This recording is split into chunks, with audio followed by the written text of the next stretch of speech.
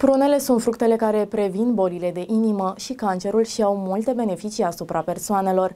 Ele sunt sărace în calorii și se numără printre puținele fructe recomandate în diete.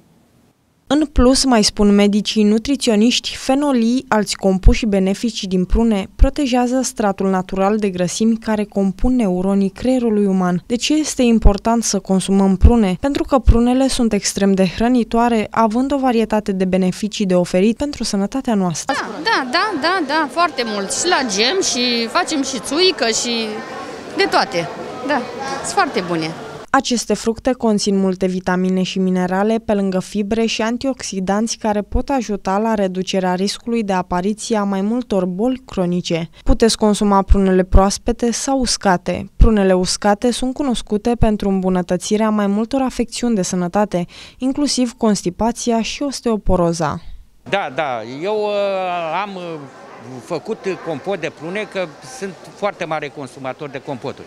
Eu consider că tot, nu numai prunele, toate fructele sunt benefice pentru organism. Până acum am cumpărat numai pentru mâncat așa. Pentru compoturi și dulcețuri mai târziu, încă nu sunt coapte.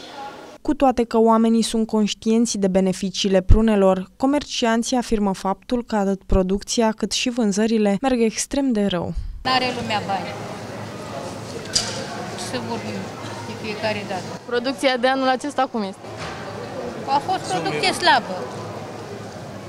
N-a fost ploi, ce să vă spune mai mult de atât? Consumul regulat de prune și prune uscate poate avea un efect protector asupra sănătății inimii. Specialiștii mai susțin că prunele și prunele uscate sunt bogate în antioxidanți, care reduc inflamațiile și pentru a vă proteja celulele de daunele provocate de radicalii liberi.